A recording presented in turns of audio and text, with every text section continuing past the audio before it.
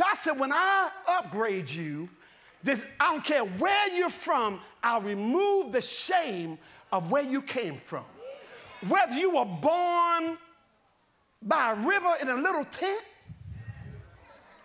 whether you're from the projects, whether you're from the trailer park, God said, when I get finished with you, glory to God, you will no longer bear the shame that's associated with where you're from because of where I'm taking you to.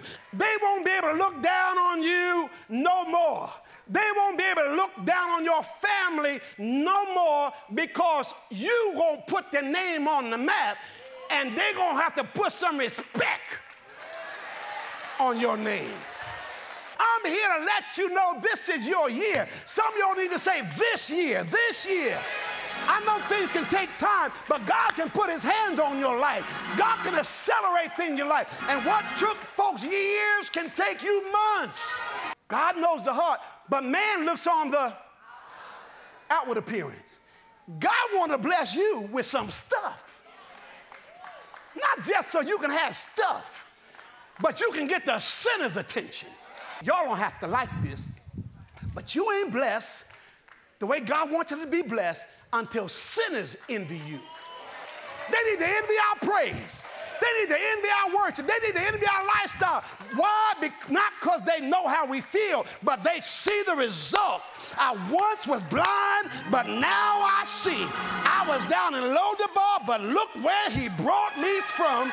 He brought me out of darkness into the light. When God elevates you, some folk gonna try to stop you. But you cannot stop what God has blessed. God's upgrading us, and you won't look like what you've been through. You won't look like, say it, say it by faith. Say, I will not look like what I've been through.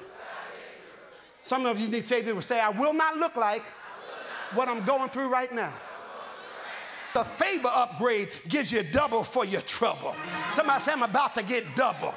In other words, God said, I'm going to make it worth it. I'm going, because you served me, because you refused to backslide, because you refused to leave when everybody else tell, said, I wouldn't take that if I were you. Ain't no way I keep on tithing if I'm living the way you living. But God said, I'm about to give you double for your trouble. Hallelujah. Somebody shout, I'm about to get double.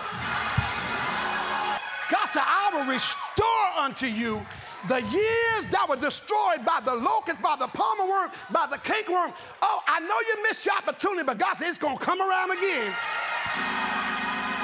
And because you know what you know now, it's not going to get away from you. What you forfeited last time, you're about to possess this time.